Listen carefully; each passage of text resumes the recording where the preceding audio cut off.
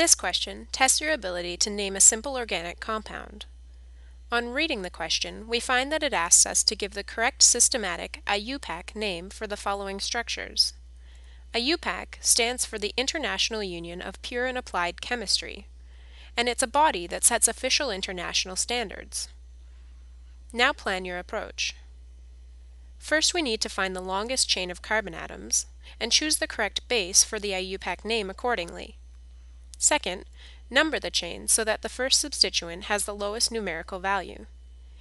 And third, add the substituents as prefixes in alphabetical order. Okay, start solving.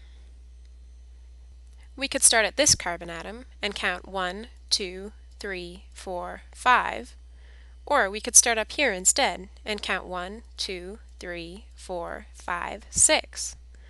This one is longer, so we'll stick with it. The base name for a chain that is 6 carbons long is hex. And since the chain is completely saturated, in other words there are no double or triple bonds or other functional groups, the suffix for this molecule will be ane. Now, looking at our molecule, we can see that this is the only group of atoms that we haven't considered yet. It's not part of the main chain, so it must be a substituent. Numbering the chain as we have puts this substituent in the 3 position. If we had started counting at the other end, it would be in the 4 position, so we should stick with our original numbering, to keep the substituent as close to the beginning of the chain as possible.